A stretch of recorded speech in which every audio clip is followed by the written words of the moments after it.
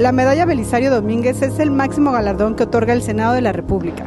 Es importante recalcar que debido a la emergencia sanitaria que prevalece, esta comisión determinó que por esta ocasión el registro de candidatos y candidatas será únicamente a través de la página web www.medallabelisario-domínguez.senado.gov.mx. Este año hemos sufrido distintos estragos y por ello no podemos dejar de recordar a un mexicano ilustre que a través de su ejemplo en vida marcó pauta para reconocer a personas que por sus acciones exaltan a la patria. La libertad es quizá lo más importante que tiene la vida humana.